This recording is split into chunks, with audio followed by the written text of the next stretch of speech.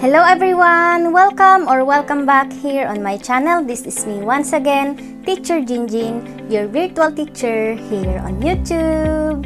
Kung bago ka pa lang sa channel na ito, gumagawa ako ng mga Tagalog tutorial videos mula grade 7 hanggang grade 11. Kung interesado ka, please like, subscribe at i-click mo na rin ang notification bell para ma-notify ka kapag may bago akong upload na video. Kung gusto mong mag-advance learning mula first quarter hanggang fourth quarter, kompleto na yung topics natin, feel free to visit our playlist. Okay? Let's get started! Magandang araw mga minamahal kong grade 7 learners! Sa video na ito ay itutuloy natin ang inyong learning task week 3 ng inyong mga modules. Kung hindi nyo pa napanood yung previous na discussion natin about algebraic expressions, diniscuss ko doon lahat yung part 1. I-click nyo na lang sa taas or hanapin nyo na lang sa playlist natin. Bago natin sagutan yung learning task number 2 ninyo, uh, i-review muna natin yung algebraic expressions. So, yung algebraic expression are separated by plus or minus signs. Algebraic expressions are named according to number of terms. Pag meron tayong one term, ang tawag doon ay monomial. Pag two terms naman ay binomial. Pag three terms, trinomial. At kapag more than three terms, ang tawag naman algebraic expression na yon ay polynomial or multinomial. Ang degree naman ng algebraic expressions is the highest exponent of an expression with one variable or the highest sum of the exponents of the variables in a term of the expressions. Yung constant naman, yun yung number with fixed value. At yung variable, yun yung mga nakikita ninyong letter doon sa algebraic expressions which represents a number. Na-explain ko na to sa previous video, so panoorin nyo na lang yun para mas lalo ninyong maintindihan. Okay? So, dito na tayo. Letter B, identify the kind of algebraic expression and determine the degree, variables, and constant. Disclaimer lang mga anak, pinapalitan ko yung mga given upang sa ganun ay subukan ninyong isolve yung mga nasa modules ninyo kasi mas magandang mag-solve kapag kayo mismo yung nagsosolve. Alright? So, meron tayong algebraic expression dito. Tapos, sasabihin natin kung anong type of algebraic expression. Then, identify natin or then i-determine natin yung variable, degree, and constant. Number 1, meron tayong ditong 6x plus 3x cubed minus 16. So, malalaman natin yung type or kind na in the number of terms. Paano natin malalaman or paano natin mabibilang yung terms? Dapat ihiwalay siya nito ng plus at saka minus sign. So, bilangin natin. 1, tapos pinaghiwalay ng plus sign. So, isa na ito. Pangalawa. So, meron na tayong two terms. Hiniwalay ulit ng minus sign. So, ibang term na naman ito. So, meron tayong isa, dalawa, tatlong terms. At ano ang tawag doon sa tatlong terms? That is trinomial. Okay? Ngayon, ano naman yung variables? Yung variables, yung nakikita ninyong letters dito sa given. Ano yung nakikita nyo dito? That is x. So, yan yung variable niya. Ano naman yung degree? Yung degree, yun yung highest exponent or the sum of the exponents. Ano yung highest exponent dito? That is 3. Ibig sabihin, ang degree nito is third degree. Ano naman yung constant or yung value ng constant? Ito, yung whole number dito na nakikita ninyo, ito, yung walang kasamang letter, yun yung constant term. So, ano ito? That is negative 16. So, ganun lang siya mga anak.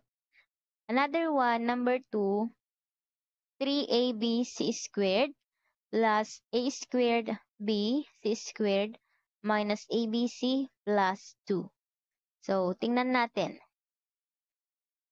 Itong term na to, yung 3abc squared ay iisang term yan. So, 1. Tapos yung ito naman, dalawa. Pinaghiwalay ulit ng minus sign sa pangatlo ito. Tapos meron ulit symbol dito or operation na plus. So, apat ito. So, meron tayong isa, dalawa, tatlo, apat na terms. Meaning to say, ang tawag dito ay polynomial or pwede rin namang multinomial.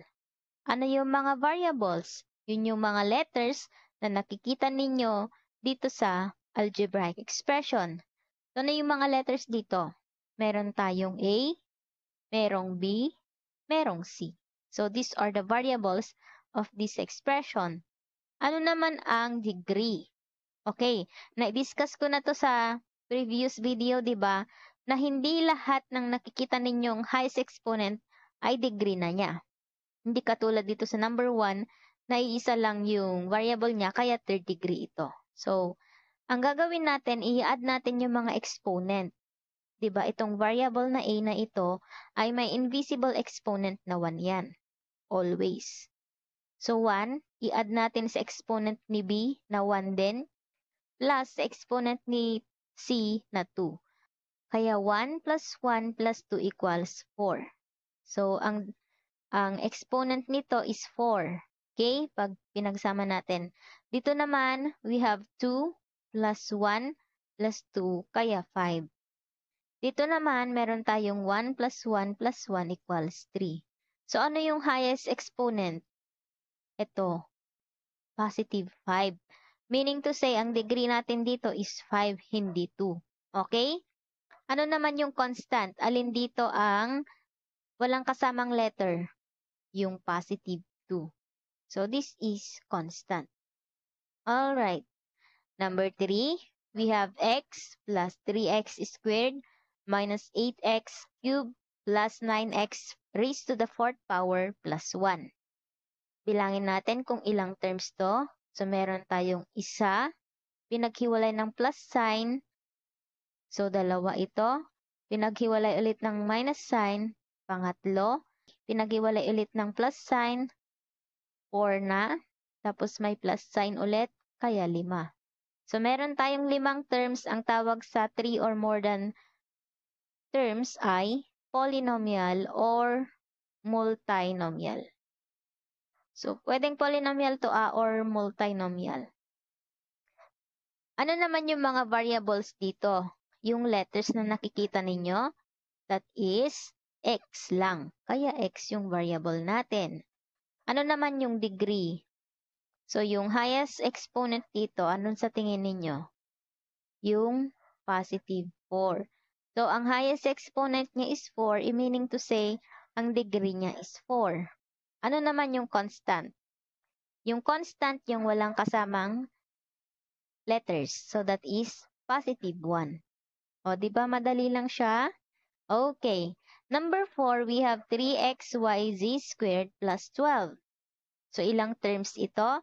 Meron tayong isa, pinaghiwalay ng plus sign, dalawa. So, meron tayong two terms, meaning to say, this is what we call binomial. Okay? Pag binomial. Ano naman yung mga variables? That is x, y, z. Tapos yung degree naman niya, since tatlo ito na variable, i-add natin yung mga exponent nila. So, may invisible na 1 dito sa exponent ni x. 1 plus may invisible din na 1 dyan, plus 2, that is equal to 4. Kaya, ang degree natin is 4. Okay?